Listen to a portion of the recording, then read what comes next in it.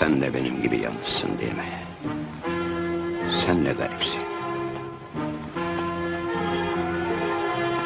Bak, ne dediler Melek Soylu için biliyor musun? Gelmez dediler. Evlenmiştir. Seni unutmuştur dediler. Yalan bunlar. Ne dedi Safiye giderken biliyor musun garip? Bekle geleceğim dedi. O geleceğim dediyse gelir. Gelecek garip. Bak sen de göreceksin, gelecek.